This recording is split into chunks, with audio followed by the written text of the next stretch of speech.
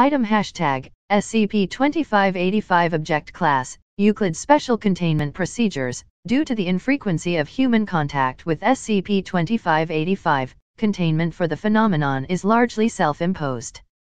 The Foundation will operate through various front agencies to minimize climbing attempts of K2 during periods of SCP-2585 activity, and all deaths attributed to it are to be declared a result of avalanche or weather conditions.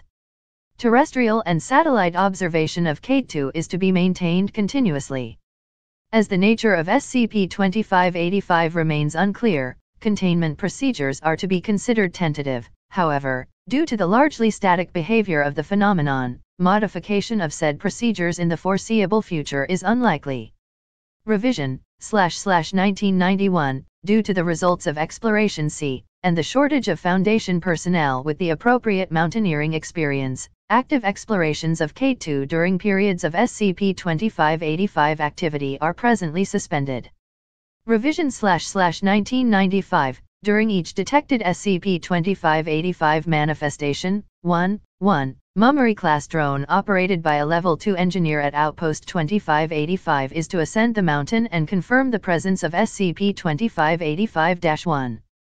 In the event that SCP-2585-1 is not detected within 48 hours of the drone clearing the 7000M mark, or SCP-2585-1 is confirmed as neutralized, 1, 1, D-Class personnel will be allotted to Outpost 2585 and contingency MRA with Macron TH will be executed. Level 2 or higher personnel may see Document 2585 MRA with Macron TH for details.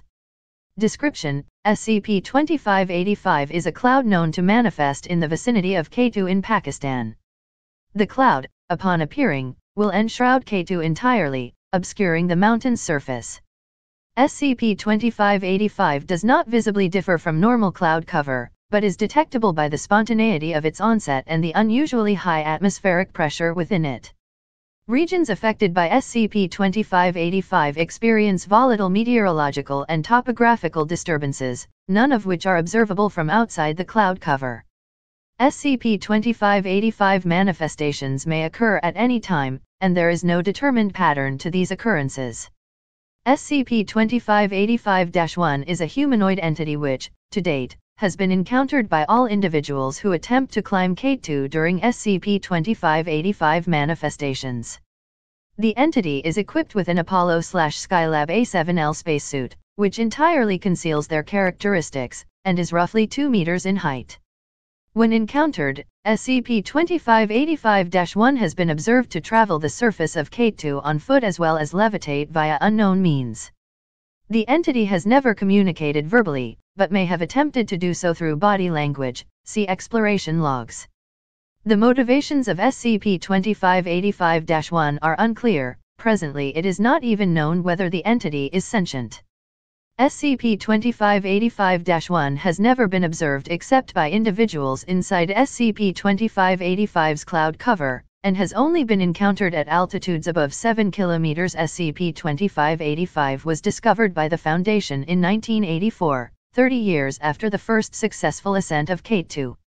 Since its discovery, SCP-2585 is believed to be responsible for at least of the known 80 deaths on the mountain. During that time, a number of disappearances have been reported in the region of Karakoram surrounding K2. These disappearances total at civilians and aircraft, and have all occurred during periods of SCP-2585 activity. While no direct link to SCP-2585 has been determined, the incidents have been covered up to avoid drawing attention to the anomaly. Three explorations of K2 have been conducted by Foundation operatives during SCP-2585 manifestations. Due to the conditions inherent to SCP-2585, low visibility on the mountain is a consistent hindrance. For full information on these explorations, please see below.